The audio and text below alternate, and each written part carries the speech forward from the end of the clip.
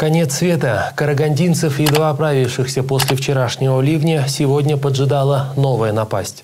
Технологическое нарушение на ТЭЦ-3 повлекло обесточивание всего областного центра, а также Каркаролинского и Бухаржрауского районов.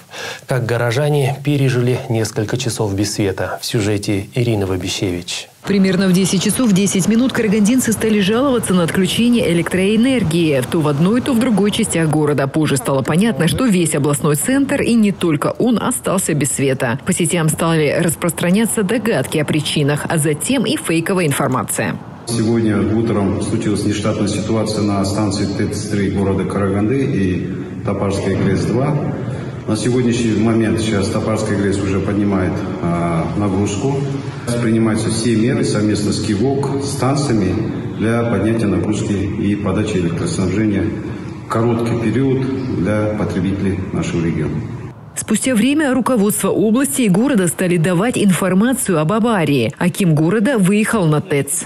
Причины э, технологического инцидента выясняются. На текущий момент напряжение подано 11.15. Режим работы станции восстанавливается. На данный момент э, в городе, часть города находится без электричества. Больницы переведены на режим электрогенераторов. По городу выставлены дорожные патрули для регулирования дорожного движения по улицам. На дорогах действительно был коллапс из-за неработающих светофоров. В организациях остановилась работа, так как многое связано с оргтехникой и интернетом, который тоже работал с перебоями. Обесточенные насосные перестали качать воду, и давление стало падать. Остановили работу в общепитии. Общественный транспорт работал без сбоев. На улицах появились люди, которые, как они говорили, были распущены по домам с работы. Раньше при лучинах жили и ничего, выживали. И сейчас выживем. Ну, бывает, бывает. Чушь. Ну, во-первых, я сегодня не смог покушать. И да и все, в принципе. Где тонко там и рвется, ну, конечно, есть минусы некоторые, которые наши монополисты как бы вроде бы мы хорошие деньги платим за коммуналку, вот, да? А ремонтные работы, видимо, они не вкладываются. Особняком выделялись среди всех те объекты, где были генераторы. Там был свет для обеспечения бесперебойной работы холодильников. В основной массе предприниматели рисковали.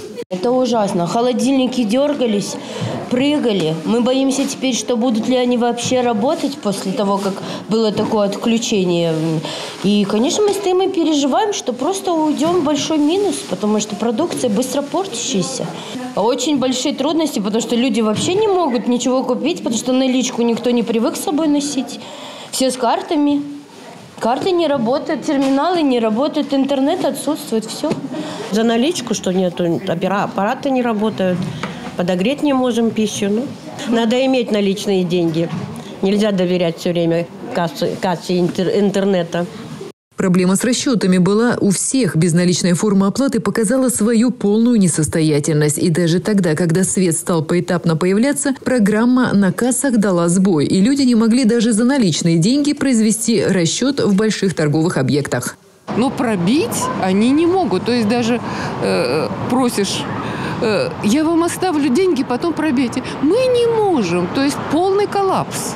Свет постепенно стал появляться, и карагандинцы возвращались к нормальному образу жизни. Причины технологических нарушений выясняются, сообщили в Акимате. Расследование причин аварии на внешних линиях осуществляет Комитет атомного и энергетического надзора и контроля Министерства энергетики Республики Казахстан, говорилось в официальном сообщении.